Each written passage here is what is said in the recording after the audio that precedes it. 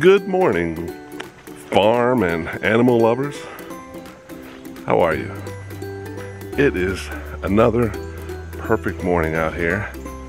And the high today will probably be in the high 50s. And I'm coming out to greet my animals. and it is beautiful. So let's give the little piggies here some, uh, uh, a little bit of leftover lettuce. How you guys doing, huh? What's going on? Look at those tusks, man.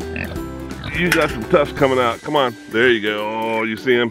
Oh, yeah. Oh, yeah. There you go. Man, oh, man, look at it. And then even Buckeye over there. Oh, yeah. Okay, you ready for some lettuce? Here it comes.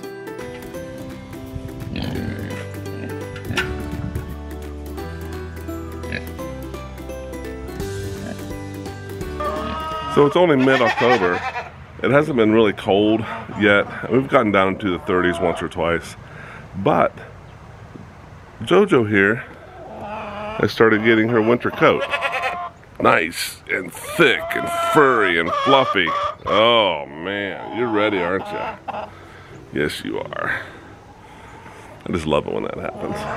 So if there's one thing I've learned over the years of hobby farming is that when you have a good idea and it works, it doesn't mean it's always going to work. hey, hey.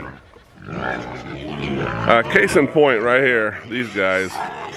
When you have a group of hogs, uh, it's a lot different than having just two in a, in a pen. And specifically, I'm talking about feeding. Whenever I had just two, I had a food bowl right here, a fence dividing, and a food bowl over here. And you could usually get them timed where you could pour one food bowl in when the hogs are on the other side of the fence. They come over and then you put it in the other side. Well, now they are all quick and they split up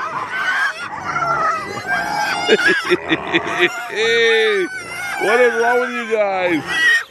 Holy cow. Uh, and then it, it's hard to feed from this side of the fence. So I'm gonna have to go in there, I think, and just walk along and pour stuff in their bowls because they they drag their bowls more way out into the pasture, and it's just more difficult. okay. oh my goodness, they're funny. So anyway, uh, this divider that worked really well for two isn't doing such a great job when there's more than, how many's in there now, nine?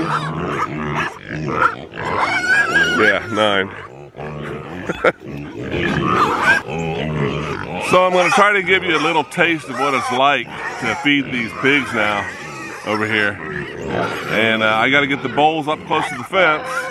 And then I got to, you know, time it so that there's empty bowls I can pour food in. It, it, it's fun. It keeps you in shape, I'll tell you that.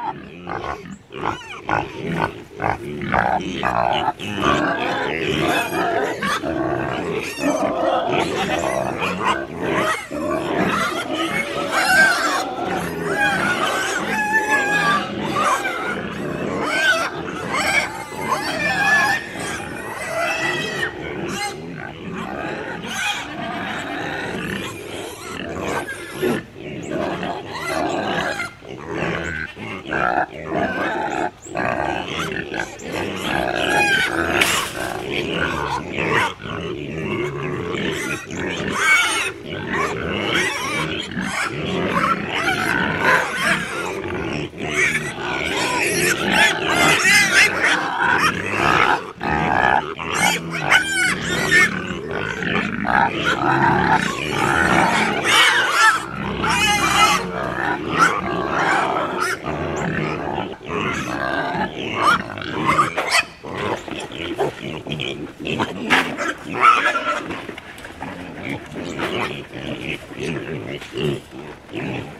You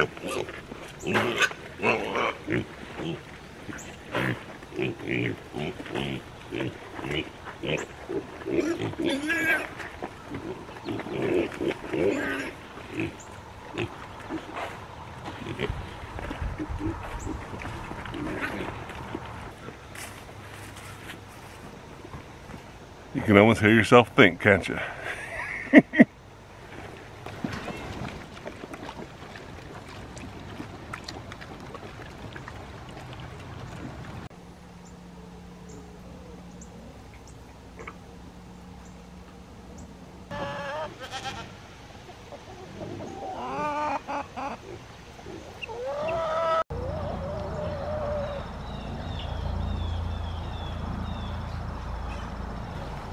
Well, the chickens have been following me around real close today.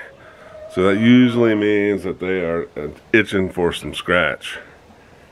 So let me get them some. Satisfy that itch, you know what I mean? All right, I get it. So I throw the scratch, this stuff, in their run for two reasons. One, to keep the goats away from it because the goats will eat it right off the ground and goats eating stuff right off the ground is uh, inviting parasites. So I put it in there and um, I hope that they will, you know, trample down some of that overgrowth in there when I do that. So I'm gonna put it in there right now. the goats were eating my clothes. Whoop, what are you doing there, bub? So it'll take them a second, but they'll learn to go in there and get this. There's one. Watch this. Watch this. Watch this. Are you going in there? Come on. Yeah. There's a smart chicken right there.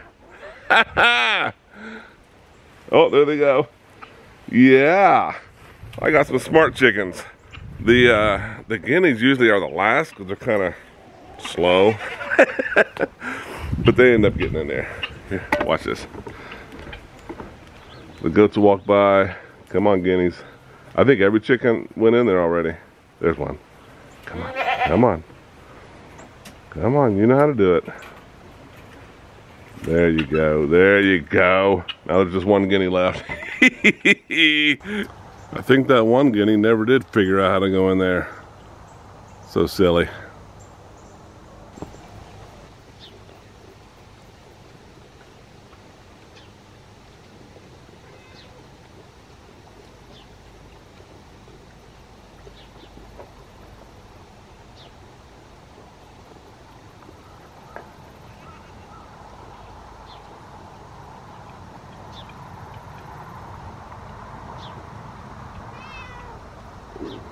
I think soon I'm going to move the boars, uh, boar and barrow, over into that other pen for the winter, or at least for the beginning of winter, because they've worn this place pretty much down. There's not much grass. I mean, there still is some. Guys, guys, it's not it's not polite to be rude. I'm trying to talk here. Hey.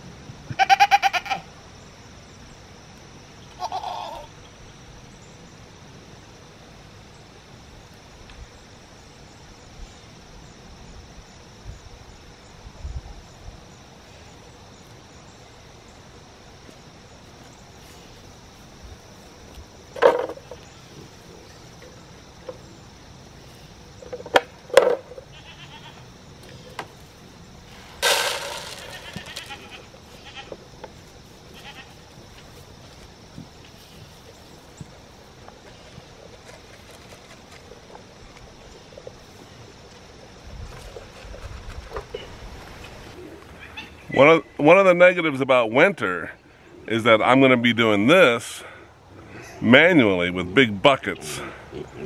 it's pain, but there's no other way to do it really.